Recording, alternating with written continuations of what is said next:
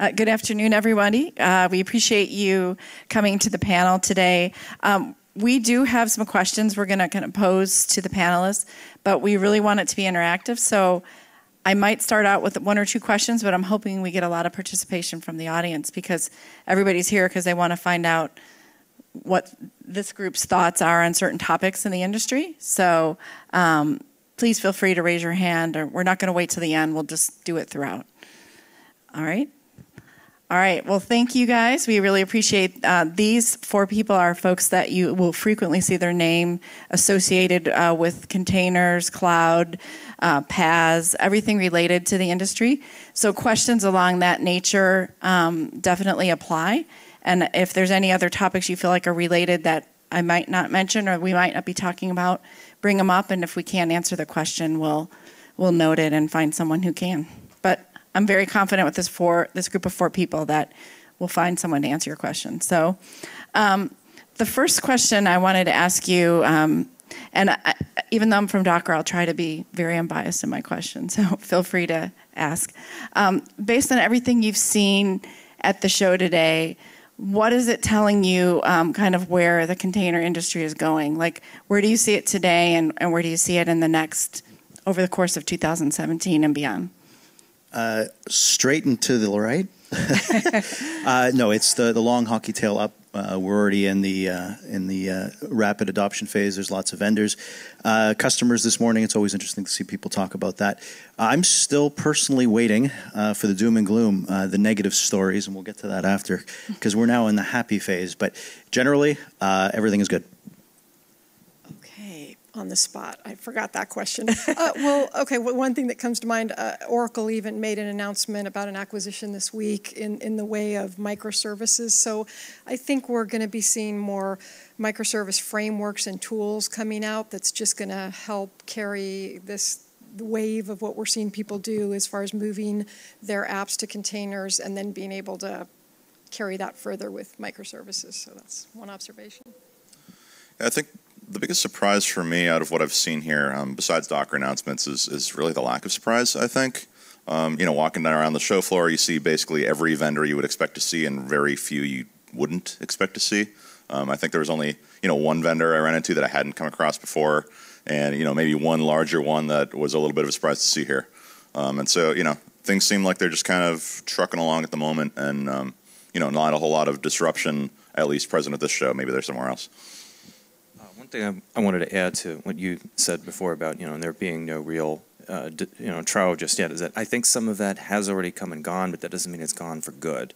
Because previously, uh, a lot of the difficulties that people were having were containers with the fact that the the space was moving so quickly, and a lot of people were getting frustrated and feeling left behind because they were trying to actually build infrastructure with these things, and then six months later, the stuff they'd built would be subtly broken in some way because things just kept moving forward.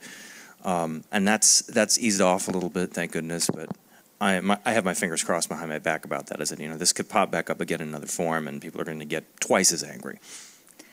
Well, I guess something that uh, oh, Sean, did you want to add something to that? I was, I was just going to say now that I think about it, uh, talking about that early adoption because people make their bets uh, and then they have to make your bed and lie in it kind of thing.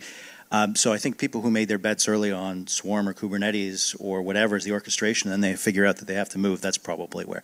Talk to your point, because once once you move in, you kind of adopt it, which is why. Uh, the Docker runtime, I know people were talking here about containerd and OCI. Essentially, it's Docker with some added specifications and magic. The um, AppC, which is what is it? The um, application image in uh, the image format specification is essentially Docker v2 format. So all these things are uh, Docker is a function of being the de facto standard, becoming the standard. So uh, we'll see. I think I think the barrier is going to be when people try and change or shift. Um, and then Donnie, you mentioned um, you weren't surprised to see uh, people here. I was surprised to see CoreOS because uh, I didn't expect to see them.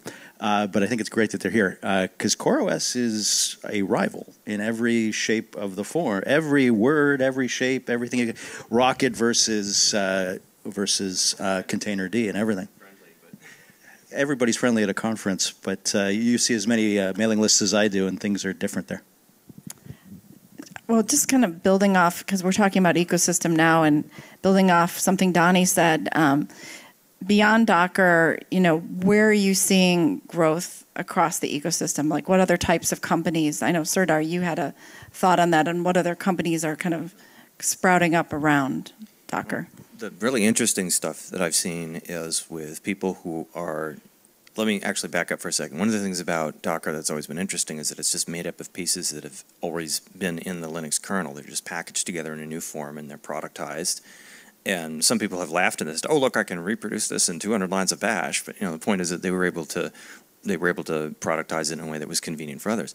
And I'm now noticing other people working on similar things. They're, they're taking stuff that already exists in the kernel, that has already existed for a long time, and making companion items out of those things for Docker. Like, for instance, there was a project I covered the other week called Cilium. Um, what they do is they basically take the Berkeley packet filtering components that are in the Linux kernel and they make that into um, network add-on, uh, network processing for, for containers and also for Kubernetes pods. And I thought that's brilliant. You know, you work with what's already there and what people already understand. And I think there's that's a huge uh, there's a huge amount of untapped potential there. Yeah, I guess from my perspective, um, you know, some of the shifts in the ecosystem are, you know, step one was can we run an app in a container? Step two was can we do microservices across multiple containers? And step three is can we run like traditional enterprise apps um, in containers?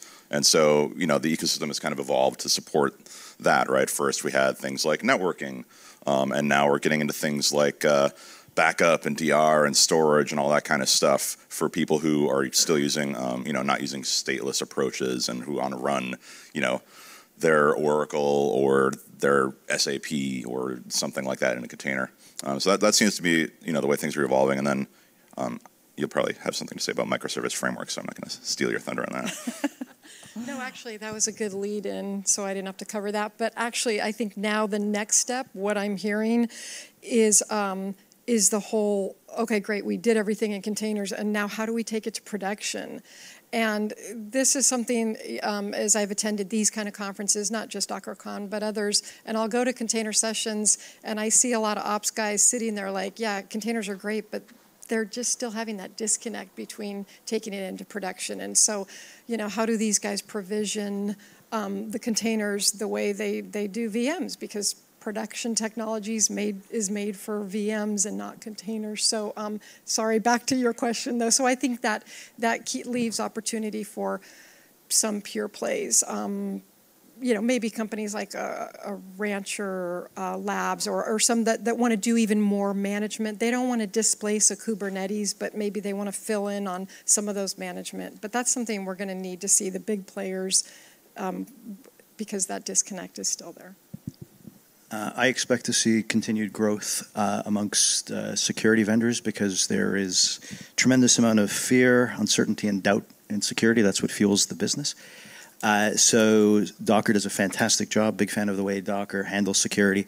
Uh, but talking to Serdar's point about uh, everything coming from Linux, one of the amazing things, one of the things I've learned actually today, was how many recent security vulnerabilities that were discovered in the context of containers were then then had to be fixed upstream in the Linux kernel because of the way that the process forking works and all kinds of other things, which we're not going to get into in this type of session.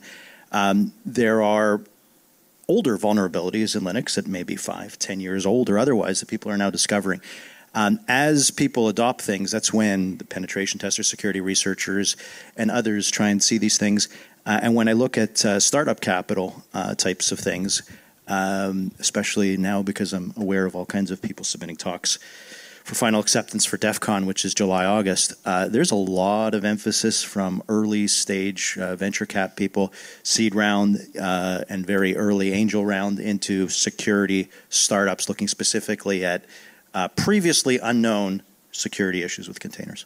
That actually uh, brings up an interesting question because you know we hear there's containers. We're talking about production and what's required to bring containers in production.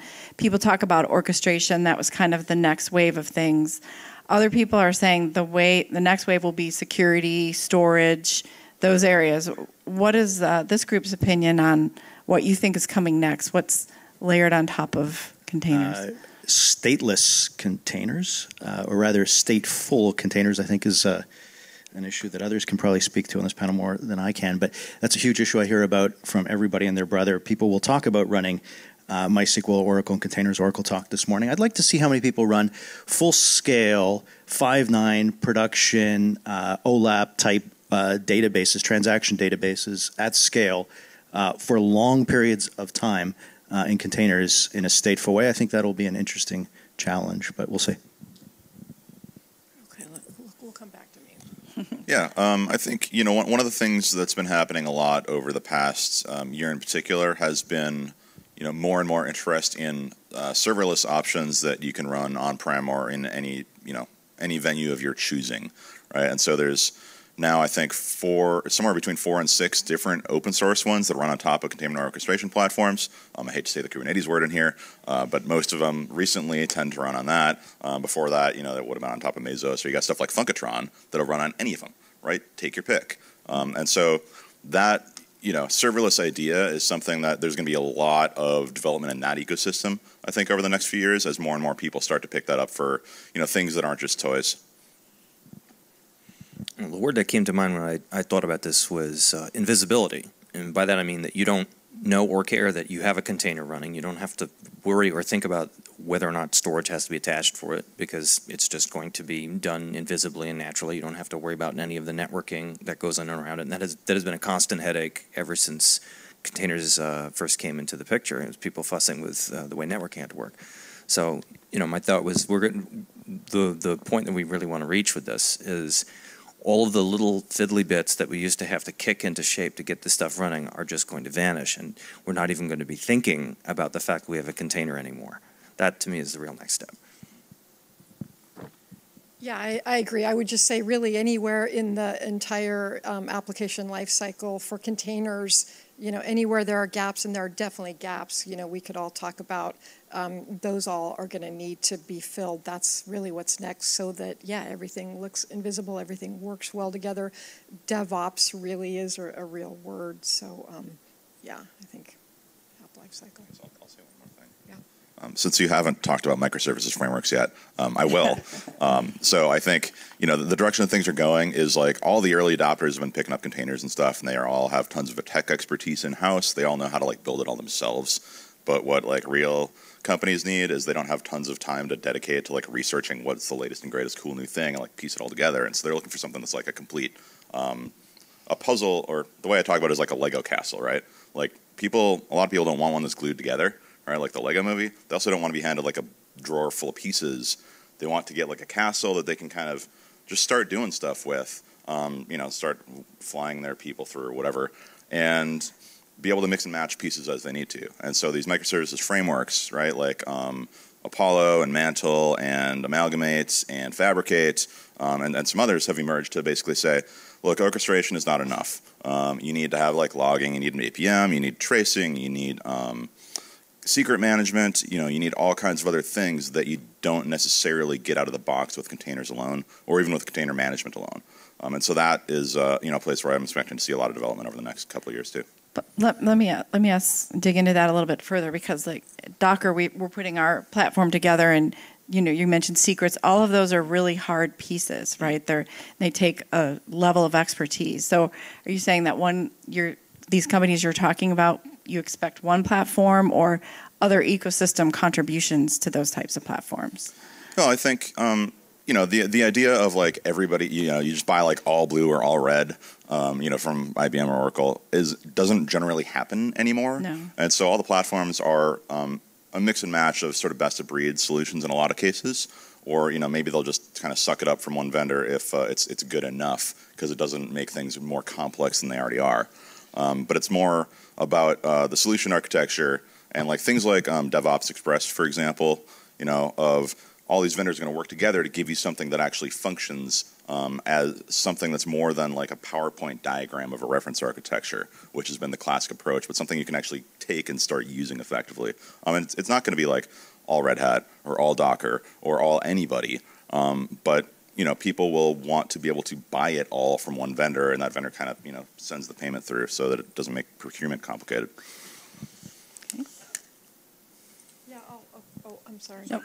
Go ahead. Yeah, I agree. Definitely, you know, the, the leading vendors are, uh, and also Oracle, I think Oracle announced Photon or the newest version. I actually thought it was finally GA'd, but um, and IBM's got a microservices builder. So and everybody's got something. So yeah, you you can still get these technologies from from the vendor, um, and and and there's going to be a big push. I mean, VMware. I'm sorry, I think I said Oracle. It was actually VMware, Photon. Photon, yeah. Sorry Yeah. about that. Yeah, yeah. I like they Um, do a partnership this but, morning but I mean, this, they, yeah. they, you know, they've got big plans from their OpenStack guys all the way up to the PaaS middleware folks, um, you know, to fill in all those gaps. And it's actually somewhat of a cohesive story because mostly I'm not hearing cohesive stories among these large vendors. They're kind of muddled. And by that, I just mean I don't see the OpenStack guys talking to the PaaS guys, you know, at all. Um, because this stuff still has to work together, and I don't believe it does. But um, yeah, definitely, these these things will are being filled in by the major leaders. Yeah, I was just going to say that whenever I talk to uh, vendors uh, and other folks, usually the word container is synonymous with microservices. Uh, and what you're explaining uh, with a microservices framework is something that I uh, almost never, ever, ever hear about. Usually it's just, okay, we're going to use Docker Compose and a YAML file to put it together, uh, and that's how it'll be structured. So I think that's an opportunity. But uh, from where I sit on uh, just as uh, media, I don't get as many briefings as you do, perhaps. I haven't heard, and it's always certainly on the marketing side. It's always a confusion. It's the two words are the same, but I think I think there may be a, a need in the market, whether it's uh, an analyst firm or otherwise, uh, that defines uh, that there is a difference because there's not going to be a NIST definition for microservices, or maybe there should be. You know, there's a NIST definition for cloud, but nobody kind of follows it. But I don't know. I'm- I'm aware that there is one, but I'm not sure what it is. Well, I mean, Charlotte, you, what you're talking about, oh, I think we have a question. Can you, um, Gabriel?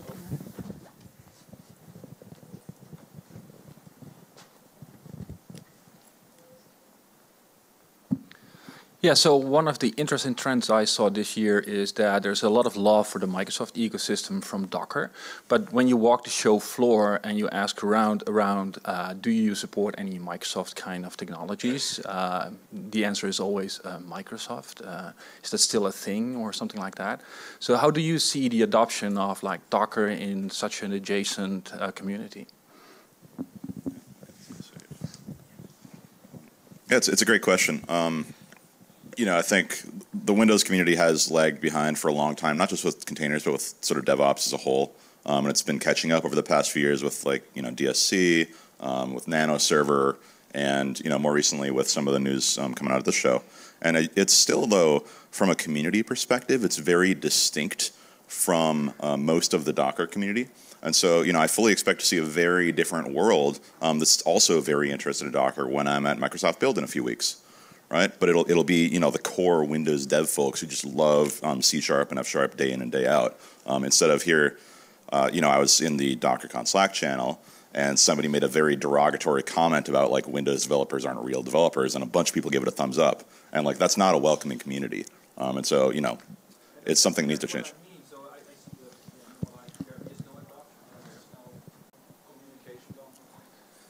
Yeah, so the, so the comment was, you know, there's no adoption or communication, and yeah, it's it's a lot like um, I'll keep making you know comparisons to DevOps. It's like with DevOps, a lot of enterprises today treat that as um, ops by a different name, right? Like, oh, you're not we're now doing DevOps because you know our ops people um, are writing some config management scripts, right? And not we've changed the organizational structure to improve collaboration. Um, it's, it's the same thing with Windows, where you know, and it's it's such a different world for a lot of us. But things like um, a shared Docker experience will bring those worlds closer together, so that you can have a conversation. Like right now, it's there's hardly even grounds for a conversation between you know a Linux or a Mac-based developer and a Windows developer because they're like, how do we even like you're talking about um, you know web servers and technology stacks that I have no comparison point to. And like you love Visual Studio and I use Vim and you know there's just like all the way up and down the stack. There's very little um, you know shared empathy, right? And things like um, the same technologies working in both of those worlds are going to be one of the ways to bridge that divide. One other thing I'd add is, uh, again, as he was saying, this whole thing has just barely started. Um, when I've talked to uh, current and ex-Microsofties myself, one of the impressions that I get is that they have wanted for a very, very long time to do the things that they're currently doing now with open source, you know, within reason. There's there's we're not likely to see you know an open source Windows anytime soon, if ever. And frankly, I don't know that we need one. But they've been wanting to do things like put together you know Windows subsystem for Linux, and they were held back because the general direction of the company didn't permit it. But now there's more of a sense that this is this is essential to their survival and their future, and the people who've been have been dipping their toe into that water have been really excited at, at how welcoming it is. So it's the, the, ball has really only just started to roll. Um, but I think you know even just within the next two years, things are, are going to be you know a lot more welcoming. At, le- at the very least, for any Linux people who want to look into what the Windows side has to offer. Uh, I can't speak to the reverse, but I'm certainly hoping it'll open up. Do we have a uh, for some of the publications that I write for, it's usually a matter of um, religion because there's still a lot of animosity. Uh, it wasn't all that long ago when Steve Ballmer said Linux is a cancer, and I know you know Microsoft loves Linux today. It wasn't all that long ago when Microsoft claimed that open source software infringed on 233 Microsoft patents, which, by the way, they have never rescinded. Microsoft today earns uh, many uh, dollars from uh, licensing agreements for alleged open source patent infringement. So, for people that are um, uh, see open source as a religion almost, that's what you see in the Slack channel.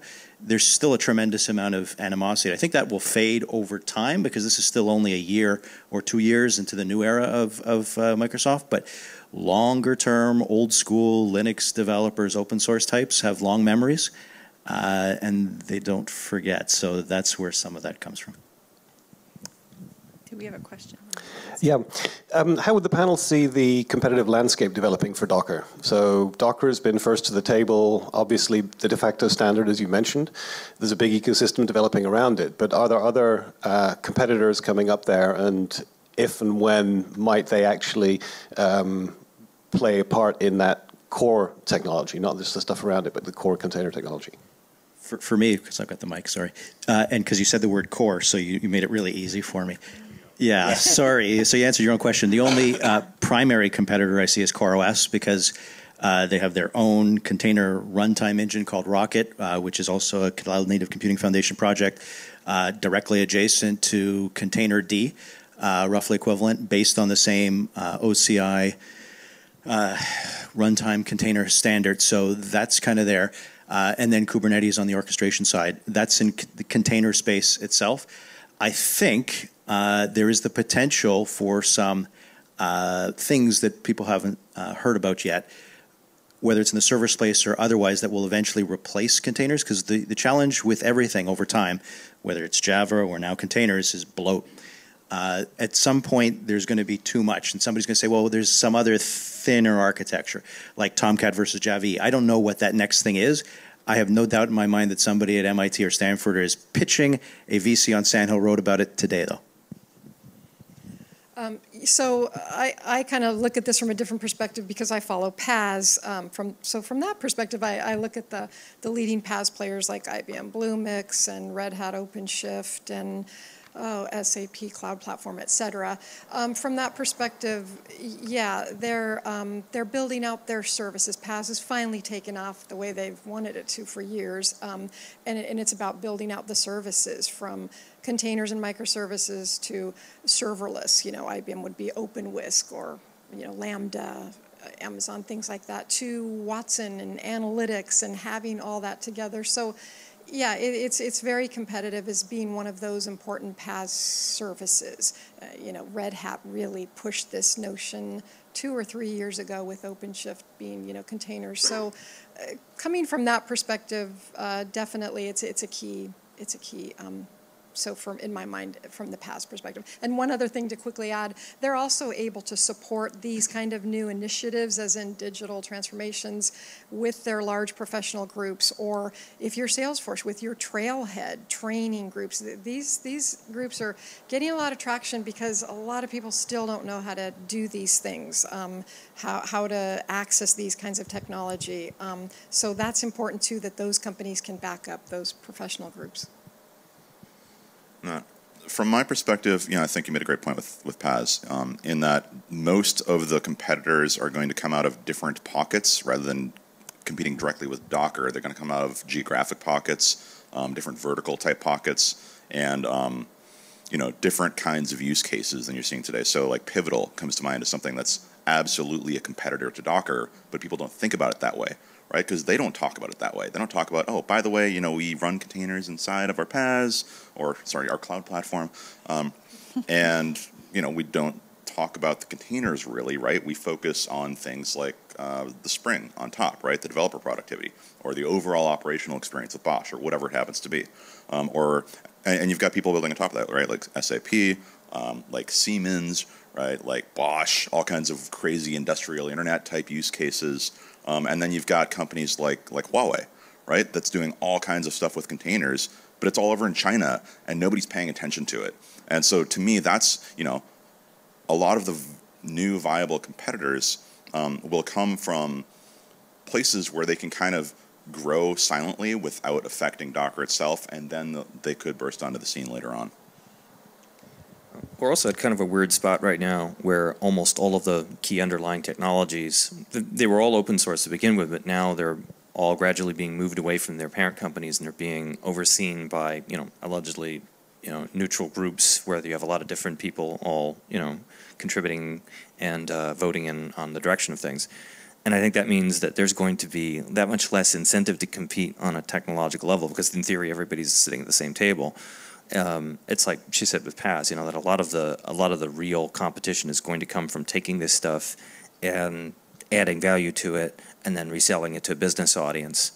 And out of that, there could come any number of things that were simply not foreseeable before.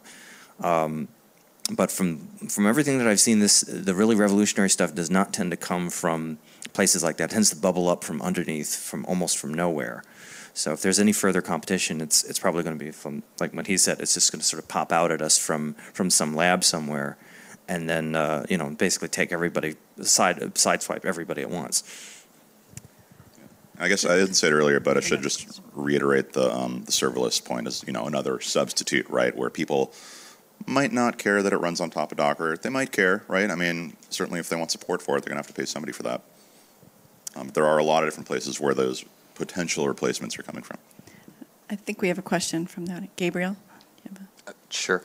Um, do you guys think that we're going to see wide enterprise adoption of container technologies over the next few years? And more importantly, do you think that we will find that this adoption happens before the next big disruption? Um, I guess I'll start since I'm holding the mic at the moment.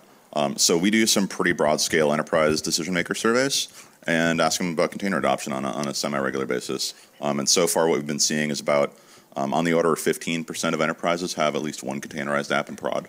Um, and about a third of that 15%, so like 4 or 5%, have multiple containerized apps in prod. Um, and so, you know, it's, it's picking up steam. It's picking up steam really fast, even in the enterprise context, right? It's not just like developers say it's cool, which you can, you know, you can make graphs out of Stack Overflow um, discussions and that sort of thing but um, it, it is absolutely picking up in the enterprise too. And even things, um, you know, that sort of integrate with Docker and containers like serverless are, are picking up steam pretty quickly too, right? We're seeing something like 10% of companies um, have started playing with serverless technologies. And, and, you know, I fully expect that trend to keep going upwards. Um, there's always questions about, to me, whether it'll plateau at some point. Right, like we kind of saw PaaS and, and Hadoop all plateau around 20%. Um, and so, you know, can it sort of cross the chasm? The uh, perspective I'd add to that is the folks who are not using it, um, the biggest part of the reason why they're not using it is uh, it generally breaks down to, well, we're curious about it and we want to start making use of it because our competitors are making use of it, but we're still not 100% sure how it fits into our existing business plan.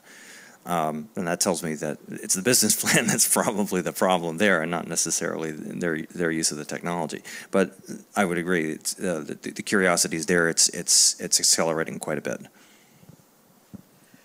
Yeah, I, I think definitely, um, you know, executives are, are keen on it because it plays into their objective of moving the data center to the cloud. You know, they, they and moving the drain of the data center out. Um, you know, they want to see the data center be a profit center. Um, um, versus such an expense. And so for me, it's kind of three things. It's the um, it's the agility that developers can do all these cool things we're talking about, use microservices, um, support continuous integration. Uh, it's the lower cost. It tends to fall under those cloud technology licensing models like pay as you go, and that's very attractive. And um, portability, just to be able to push and schedule um, uh, and orchestrate containers out to different cloud scenarios, whether they're on-prem, private, or public, um, hybrid, um, is, is also very attractive. I'll just go half a step to the side because I uh, enterprises are one thing, but then there's uh, vendors, ISVs, people building software, and I do a lot of work with uh, security vendors. And I could say honestly, in the last six months, I have not talked to a single software vendor that wasn't uh, building a container app for their delivery because it was just easier uh, if they didn't already have one. Uh, and almost every single one of them is also using Go. So there seems to be a, a corresponding relationship, but every single security vendor is going that way.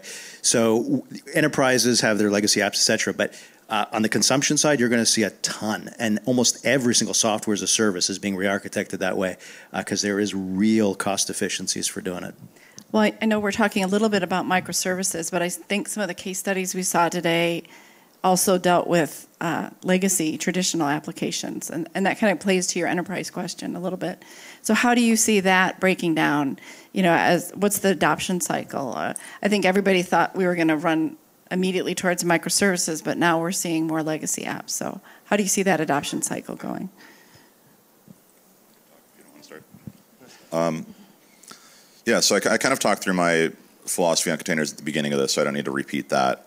Um, but you know, in short, uh, as the enterprises start picking this stuff up at scale, they're going to have a lot more requirements, um, like a backup strategy and like PCI compliance. And um, you know, we actually spent some time talking with a Docker customer about that not too long ago today. Um, and so, you know, that's that's more or less how I see it playing out. Is like all these people come in and you know, things like uh, Chef InSpec, for example, right? Like compliance is code. Um, it applies to the VM world, it applies to the container world, um, and it's it's going to be a lot of it about bridging that divide. And like one one thing I hear pretty often from enterprises is they don't want to just add another platform to what they've already got. They don't want to make things even more complex. Um, they're looking for um, sort of something more like a unified platform that can support the modern stuff, but also the old school stuff. Um, and so, you know, you you want to have a way to forklift the crap into a container knowing that it's not the greatest environment for it, but then thinking, okay, this is less operational overhead, and I'll be able to gradually migrate some of it over time. I was just talking with uh, Microsoft yesterday about that very issue. Um, they outlined scenarios where a company will take an existing legacy app, typically a, a .NET app, sometimes even as far back as VB6, and they'll stick it in a container, and the advantages that they will get from this uh, not only involve portability, but also involve allowing uh, the devs to slowly, you know, sort of peel it apart piece by piece to figure out what bits of it can can be preserved as core, what bits of it can be spun off as as separate microservices, and to do that in its own time and at its own pace while keeping it running. You know.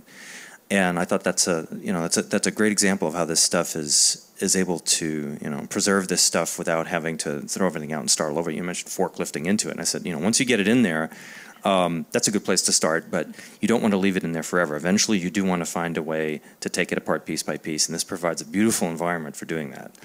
Just as a time check, we have three minutes. I'm yeah, I, I, guess we have went a really last, quickly. So I'll yeah. just, I'll just a last little question. The quick, the quick historical note, though, because uh, containers are not new, as everybody here knows. Uh, IBM will tell us they've been around 50 years, but in a past life, I used to run Solaris systems. There's probably a few people here probably have in the past too.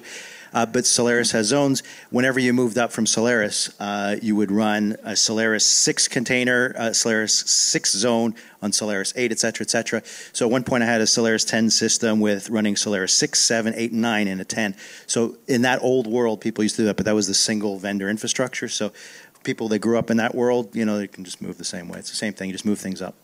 All right. Last question. Hi. Hi.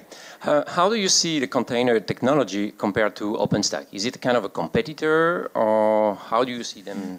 It's uh, OpenStack. If you think of it as uh, OpenStack Nova, so just because OpenStack is a collection of services, OpenStack Nova is the compute thing. Compute could be a virtual machine, Xen, Hyper-V, uh, KVM, Xen, or um, or it could be a container, though they don't do it as the Docker Nova driver. They deprecated that, but it's just another module of compute that fits in. You have to think of OpenStack as a set of projects that provide identity storage, access control, networking, uh, and then probably 20 other incremental things. Um, and containers are just a uh, if you think of it just as a compute model that fits in, they have a pro- they have multiple projects. There's uh, OpenStack Magnum, which you could plug multiple orchestrators in. There's something called OpenStack Zun, which you could also run a Docker engine inside of. So it's it's not an either or; it's just something that plugs in.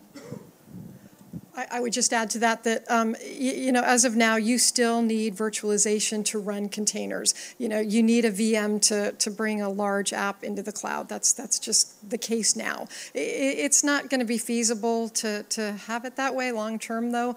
Um, it, it's not a viable way to to manage the data center or to um, provision applications. And, and it's also not really feasible for developers to have to jump through some of those extra hoops using Chef or, or um, other technologies um, to uh, to build applications, you know, on VMs. I think we might have time for one more comment. So Donnie and Serdar, I'll let you flip a coin there. All right, I'll, I'll make a quick one, and then Serdar can make one more if he wants to. All right. Um, so I've been tracking the OpenStack community for a long time too, and I think the the shift that's starting to happen is it used to be seen as either or, right? Like you can kind of go the container orchestration management route, and that's somehow a replacement for a full OpenStack cloud with all the other stuff. Um, without getting too deep into that, what's really interesting that's starting to happen now is the idea of post-Nova OpenStack clouds, right? Where they completely rip and replace that with something else. And you know, when you think about like OpenStack traditionally, like Nova was the the core of your OpenStack cloud, and now it's something you can leave out and say, you know what, we're going to go um, do something else that's that's solely focused on containers instead. And um, there's actually some case studies that have come out focused on that that are definitely worth checking out. The really cynical answer that I've heard is that you know OpenStack provided one set of of uh, answers to how some, a lot of the stuff can be done, and containers provided a really nice, focused, much less overhead, much less to memorize, much less to tinker with solution. And you know, so there's a difference between everything in the world versus just the one thing that you need. That's the cynical answer. All right. On that note, uh, thank you guys, uh, Serdar, Donnie, Charlotte, Sean. Thank you, and thanks everyone for your time. Enjoy the rest of the conference. Um, just a quick note before you leave, please don't forget to upvote this nice presentation in your DockerCon application.